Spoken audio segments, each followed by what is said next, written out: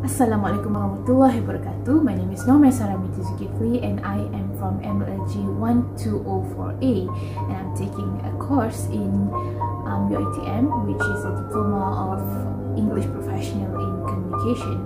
So um, for our course in this semester which is our creative writing ALS252 we were tasked to create a poem and recite them in which we did in our um, YouTube video over here.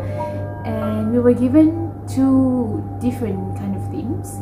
Uh, first was love and distress and the second one is hope and disappointment.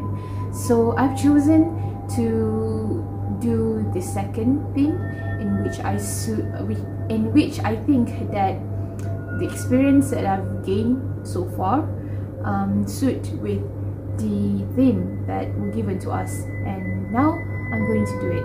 And the title for my poem would be Letter for Little Lady.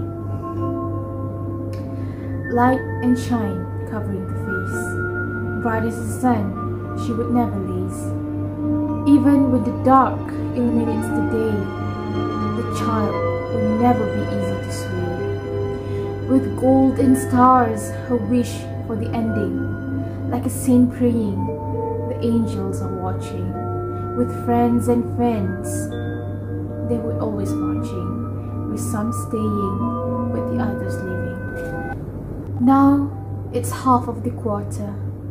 Everybody bloom, but she would gloom. Winter visit, but summer had vanished, like the underworld with the lone Hades. Now she became the William 52 a voice that could never be heard by any of you. Fate started to play the cruel game of life, and now she wondered would she ever be able to survive? I hope the poem poem that I recite just now suits any of your taste and um, I think that if any of you feel relatable to the poem that I just created and recite just now.